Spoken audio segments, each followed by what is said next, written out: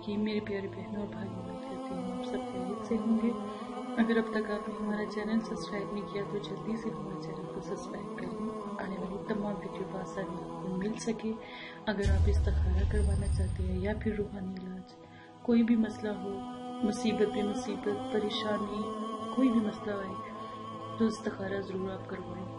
ٹھیک ہے؟ اگر کوئی باہر کا مسئلہ ہے، کوئی باہر جانے کا مسئلہ ہے کوئی اپنا آپ سے دور ہے، روٹ کیا ہے، اس کو منانے کا مسئلہ ہے۔ رشتوں کی بندش، کاروباری بندش۔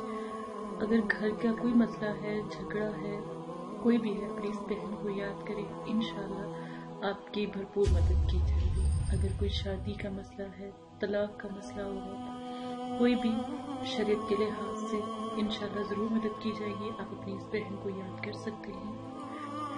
آج کی سب سے پیاری حدیث کی طرف چلتے ہیں۔ نبی کریم صلی اللہ علیہ وسلم نے ارشاد فرمایا، سب سے افضل صدقہ یہ ہے کہ کوئی مسلمان علم دین سکھائے پھر اسے اپنے دوسرے مسلمان بھائی کو بھی سکھائے۔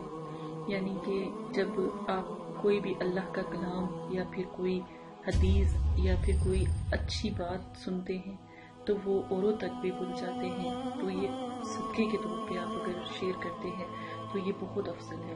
اس سے نسلوں تک کو سواب ملتا ہے اور قیامت کے دن ایک میزان تیار ہوتا ہے۔ اس میں آپ کی اتنی نیکیاں جو آپ نے اس طرح پھیلائی ہوتی ہے وہ بھی آپ کا ساتھ دیتی ہیں۔ اچھی بات، دوسروں تک پہنچانا صدقہ جاریہ ہے۔ تو آپ اس میں بڑھ چڑھ کے حصہ لیا کریں، ہماری ویڈیو کو شیئر کریں۔ اس میں ہر ویڈیو میں جو ہے آہد یہ ضرور سنائی جاتی ہے، یہ بھی صدقہ جاریہ ہے۔ آج کے سب سے پیارے وظائف کی طرف چلتے ہیں، جو بہت زیادہ پسند کیے جانے والے وظائف اور عمل ہیں جو میں آپ کے ساتھ شیئر کرتی رہتی ہوں۔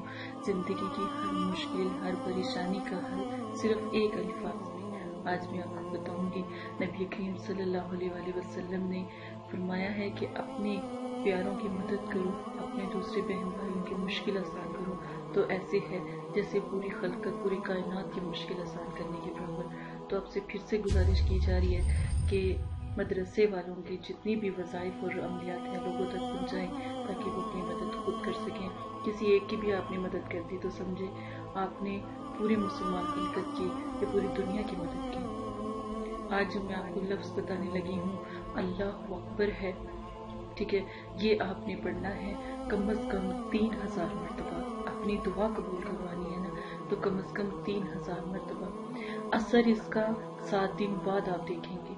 کتنی آپ نے دعائیں میرے کہنے پر اسے کاپی پہ نوٹ کر لیں، جتنی بھی آپ نے دعائیں اپنی پوری کروانی ہے آج میں وہ طریقہ آپ کو بتاؤں گی جو کبھی کسی نے نہیں بتایا۔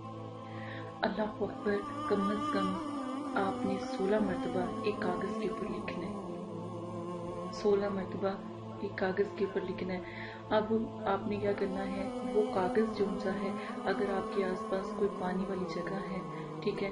اس کے نیچے آپ اپنا تمام مسئلہ بیان کرنا ہے۔ اور آپ کی جو بھی پریشانی ہے، بڑی سے بڑی پریشانی ہے، کوئی بہت زیادہ مسئلہ ہے، کوئی بیماری ہے، کسی کا بہت زیادہ مسئلہ جو ہے، وہ کسی وجہ سے رکا ہوا ہے، کاروباری مسئلہ ہے، زندگی میں کوئی پرابلم ہے، رزق کی تنگی ہے، کوئی بھی مسئلہ ہے، کوئی بڑی سے بڑی پریشانی آپ کے اوپر آ ہے آپ نے کیا کرنا ہے؟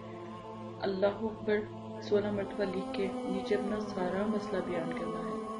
اوپر بسم اللہ لازمن لکھ لیجیے گا۔ ٹھیک ہے؟ اول آخر دروشی پڑھ کے تین ہزار مرتبہ آپ نے سات دن میں یا تین دن میں، بے شک ایک دن میں یہ کوانٹٹی کو پورا کریں۔ ٹھیک ہے؟ اب پانی، کئی پانی ہو وہاں پر اس کو بہا دیں۔ یہ تو آپ گھر میں بھی یہ کر سکتے ہیں۔ ایک گلاس لیں۔ اس کے اندر پانی ڈالیں، اس کے اندر اس نقش کو ڈال کے پانی میں مطلب کہ بھر دیں اوپر پانی۔ اب جتنی دیر تک یہ آپ کے جو اللہ اکبر کا جو نقش ہے بیچ میں پڑا رہے گا، آپ نے جو بھی دعا مانگیں گے، انشاءاللہ قبول ہوگی۔ اس کو آپ کسی بھی جگہ سیو کر کے رکھ سکتے ہیں۔ اور ایک سات دن کے بعد اگر آپ کی دعا پوری ہو جاتی ہے، ایک دن میں دعا پوری ہو جائے تو دوسری دعا مانگیں۔ دوسری دعا پوری ہو جائے، تیسری جتنی سات دن کے اندر آپ کی دعائیں پوری ہوں گی۔ اچھا ایک اور اس کا طریقہ یہ ہے کہ آپ نے کیا کرنا ہے، ایک بوٹل میں بھی ڈال کے اوپر سے اس کو بند بھی کر سکتے ہیں، ٹھیک ہے؟ آپ اس کو ڈال کے رکھ دیں اپنے گھر میں کسی بھی جگہ۔ تو یقین مانے جو دعا مانگا کریں گے، قبول ہوا کریں گے۔ نمبر تین، آپ نے اس کو کیا کرنا ہے کہ جب آپ سات دن میں آپ کی دعائیں پوری ہو جائیں، جو بھی آپ نے مانگی ہے یہ جو آپ دعا مانگتے ہیں، وہ پوری ہو جائے۔ سات دن کے بعد اس کا پانی کسی پودے میں ڈال کے یا کسی اونچی جگہ پہ دیوار پہ ڈال کے تو آپ نے کیا کرنا ہے؟ دوسری دعا کے لیے پانی بھر لینا ہے۔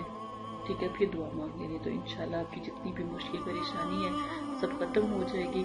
صرف ایک ہی دفعہ کا یہ وظیفہ ہے، ضرور ایک دفعہ اس کو اپنائیں اللہ کے کلام کی قسم میں دیتی ہوں، انشاءاللہ ضرور آپ کی مدد ہو آپ کی جتنی بھی پریشانی، مشکل ہے، پوری حل ہو جائے گی۔ جزاک اللہ خیر اس کے ساتھ اپنی بہن کو اجازت دے اپنا خیال رکھیے گا۔